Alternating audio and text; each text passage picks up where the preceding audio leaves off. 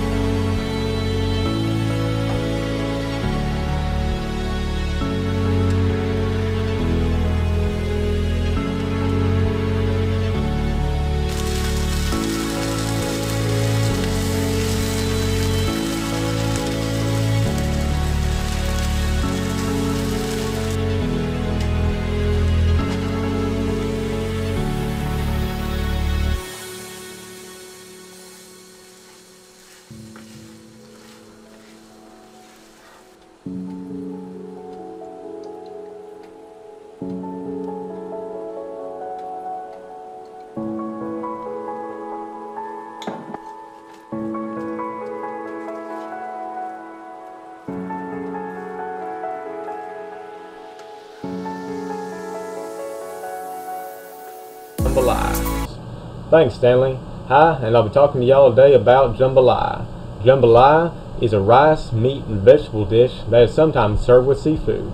It is associated with the Cajun and Creole cultures of the southeastern United States, especially in Louisiana. The Cajun culture is influenced by the French, while the Creole culture is influenced by the Spanish. Jambalaya is served at outdoor and family and community gatherings such as church get-togethers, weddings, reunions, etc. It is also served during Mardi Gras. Within the week leading up to and including Fat Tuesday, which is the last day of Mardi Gras, there are parades, parties, and masquerade balls that take place. Jambalaya is an integral part of these celebrations.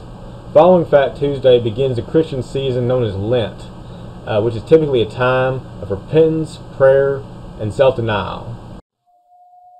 Want to know more fun facts about jambalaya? Well, here are some for you. The Jambalaya Festival and World Champion Jambalaya Cooking Contest is held annually at Gonzales and attracts area cooks who have spent years perfecting the art of cooking and seasoning this Creole delicacy. Gonzales really is the jambalaya capital of the world. Also, the Atacapa tribe claims the origin of the name. The original word, Sham Palha Ya, means be full, not skinny, eat up with equivalent of bon appetit. Spanish influence resulted in the current spelling. Back to you, Stanley. Well, who usually makes jambalaya? Jambalaya can be made by anyone, but it is most commonly associated with the town of New Orleans, Louisiana. Influence of French, African, and Caribbean cooking methods and ingredients can be seen in the variety of jambalaya recipes across the region.